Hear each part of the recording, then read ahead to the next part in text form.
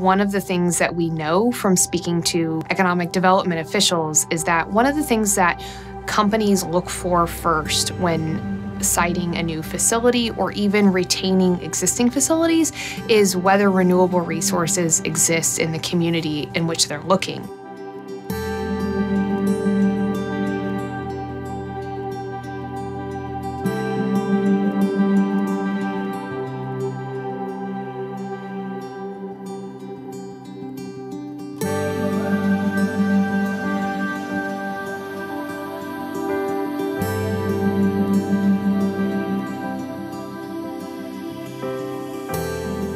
Kentucky is well known for being a coal state. And really, when we talk about Kentucky and industries, we see that solar can really be a part of the future of Kentucky attracting more economic development.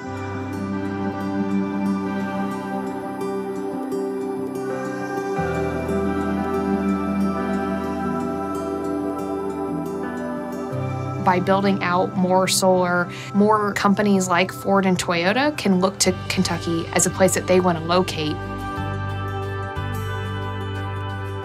Are solar farms a real thing in Kentucky? Like, that was our first question.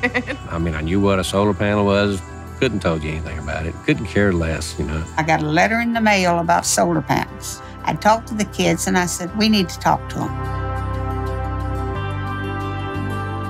Doing your own research on the internet, you could find one end or the other. So we went and, and relied mostly on university experts to get the correct answers. You need to really educate yourself, but it just takes a little bit of learning. A solar farm is quiet, doesn't make any noise. It's not invasive on the neighbors. It's not going to devalue their property values. People really worry about what are you going to do with the old ones? They're going to go to landfill, they're going to contaminate. it. And after doing the research and talking to universities, that's not true. There's nothing there to contaminate the soil. Uh, there's some talk that underneath the solar panels, that land becomes absolutely useless for agriculture ever again. And that's not true. It just it's fallow land. It's just growing in grass and it's actually building nutrients instead of using nutrients. I cannot imagine how rich that soil is actually going to be and like what you can do with it then. It's good for our environment, it's good for our community. It's not radiating, it's not polluting, and it just draws energy from the sun. And by contract, it's guaranteed income through leases and payments to landowners, generations of people can benefit from these facilities in a way that folks have never seen before. It was a chance to secure a future. Like, you know, I saw that right off the bat. Having Jewett and everything, it's a really good opportunity. And he'll still have it when they take the solar panels off of it, and then it'll be it'll be a brand new place. It'll be no different than it was the day that they got on it.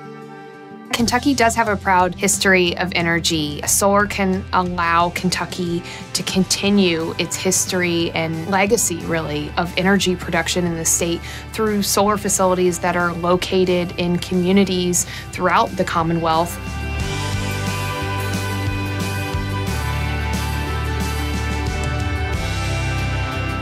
I'd like to see it be something that, you know, people was proud of, that it was here. Wouldn't it be nice to say, that poor crazy woman, she signed that up. And now look, look what it's done for this country.